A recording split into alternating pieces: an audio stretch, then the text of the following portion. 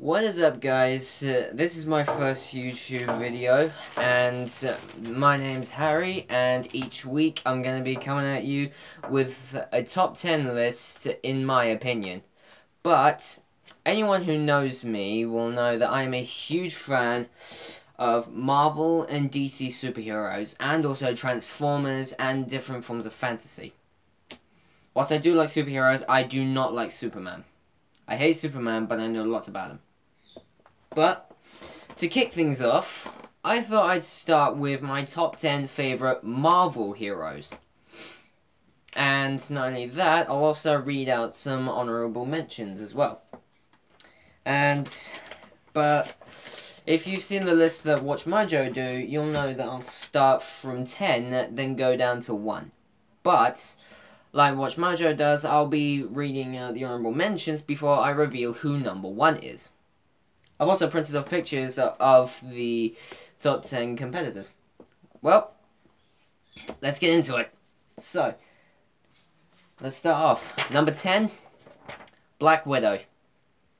Kicking off our list is uh, Black Widow, who is one of the founding member, who is one of the most recognizable members of the Marvel Universe, and is also a key member of the Avengers. But she has also been portrayed by the incredibly hot Scarlett Johansson in the Marvel Cinematic Universe, making her first appearance in Iron Man 2. That's my favorite out of the Iron Man films, but she's definitely one of the... She is, in my opinion, one of the hottest Marvel characters. I mean, seriously. Not only that, she's trained as a highly skilled marksman, assassin, and is super skilled in several forms of martial arts. But, it's Black Widow. Number 9, Hawkeye. Next up we have Clint Barton, who actually started off as a villain in the comics, helping Black Widow, who also started off as a villain, to take down Iron Man, actually. But, he is also another member of the Avengers and is one of the most recognizable.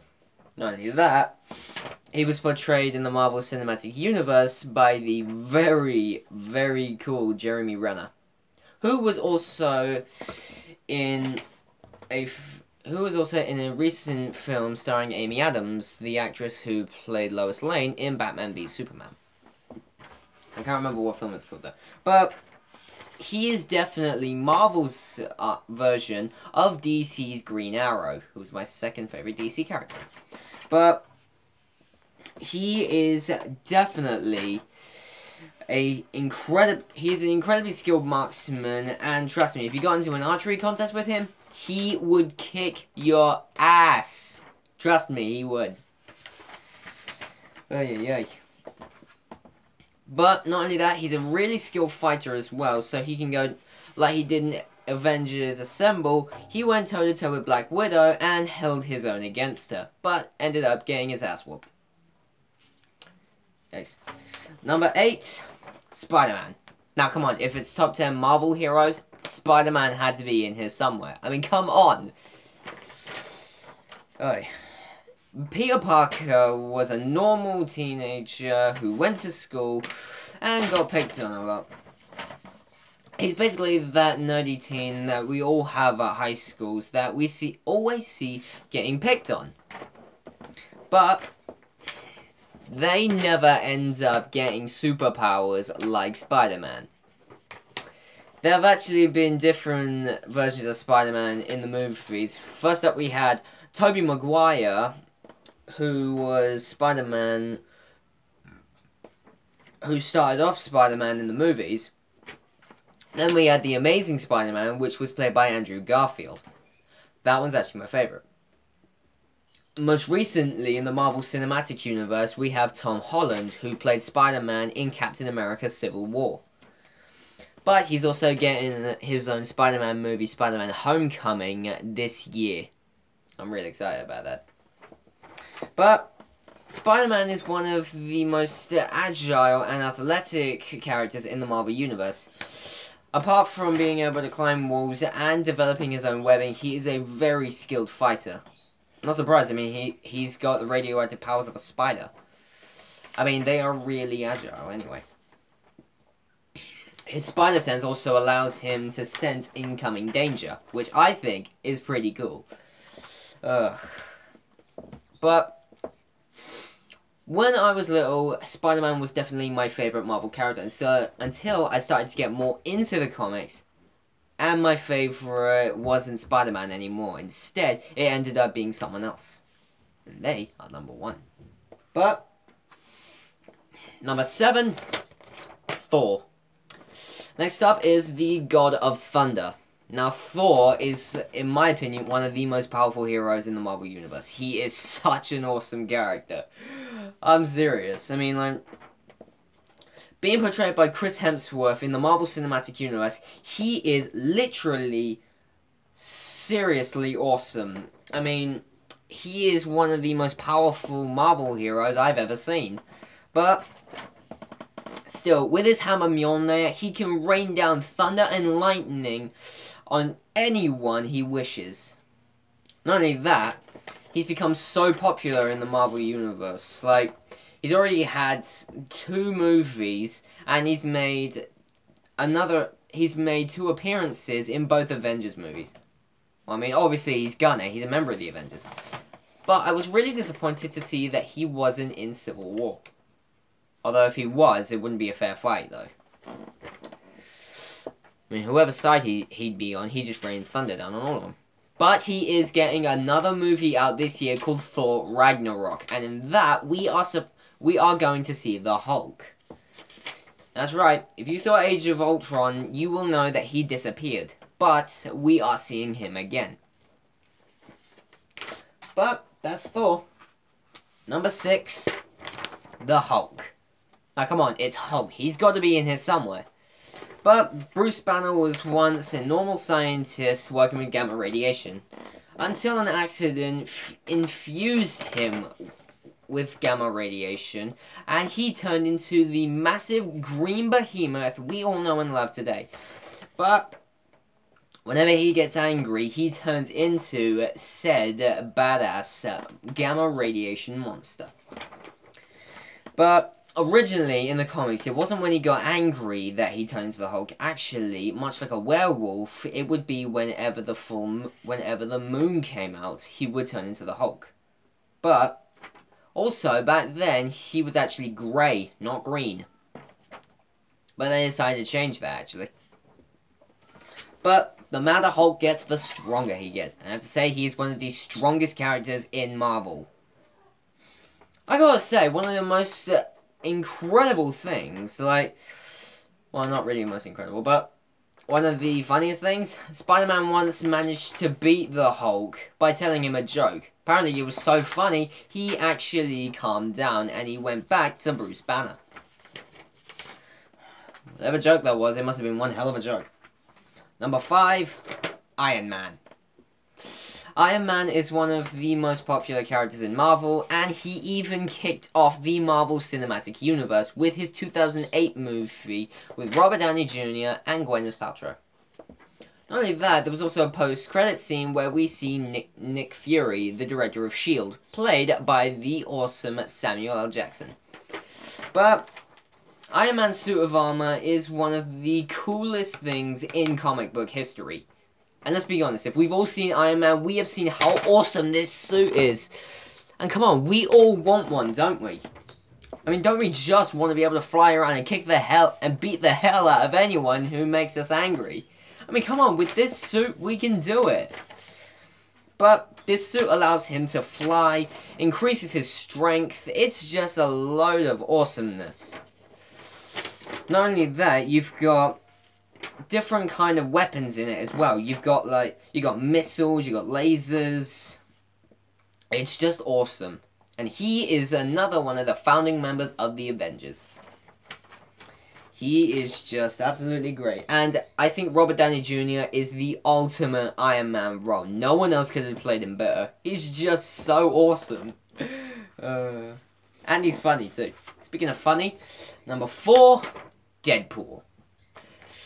A while ago, it was Spider-Man who was the most popular character in Marvel, but that spot is now for Deadpool. That's right, Deadpool has now become the most popular character in all of Marvel. And I think it's pretty fitting because he is seriously a completely funny guy. And his 2016 movie with Ryan Reynolds in it was awesome.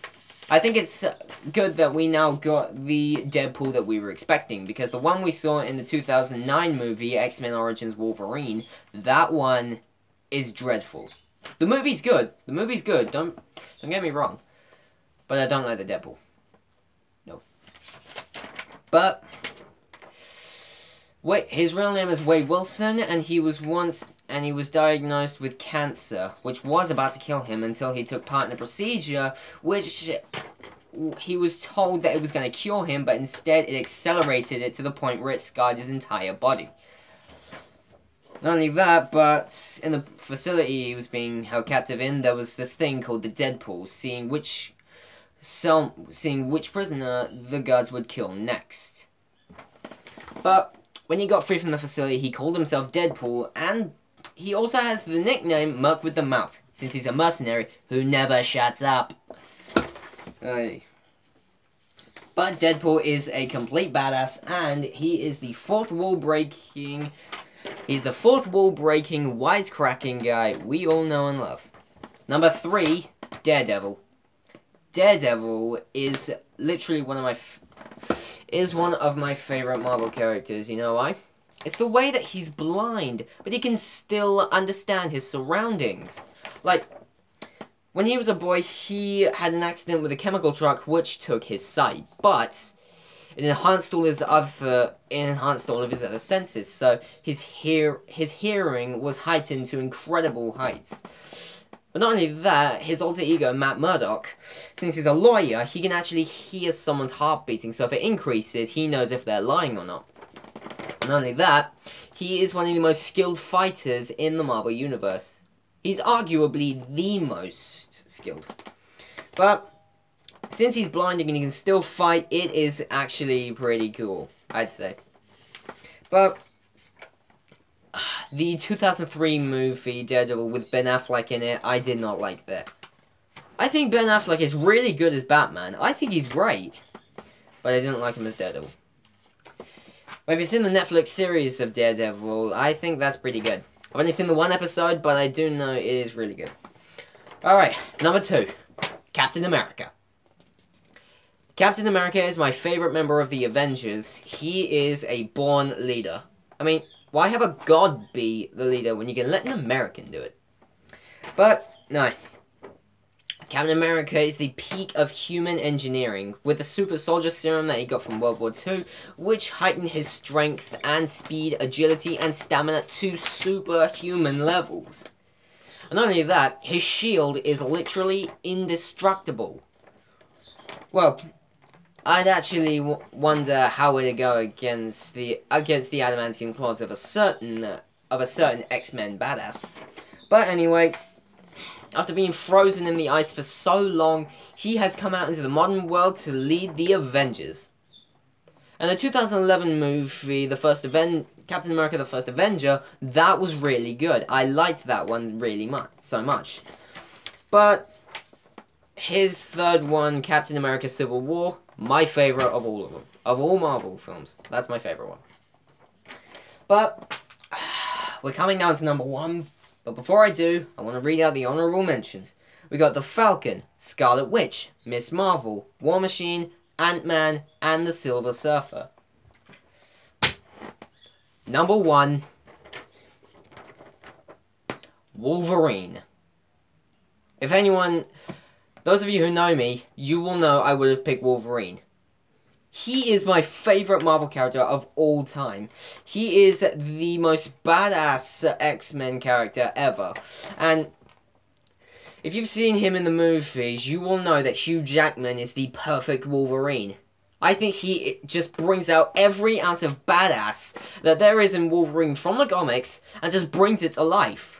I just love his berserker rages as well. Like like in X2, X-Men United, with the mansion attack from William Stryker. He basically brought out the berserker rage like I've never seen before. But with his adamantium skeleton and his incredible healing factor, Wolverine comes in at number one. If you agree with my list, please comment. But if you don't, then that's fine. Everyone's entitled to their own opinion. So, that's the first one I've done. But next week I'll come back to show you another video. But be sure to subscribe to my channel, Harry135. Later, people.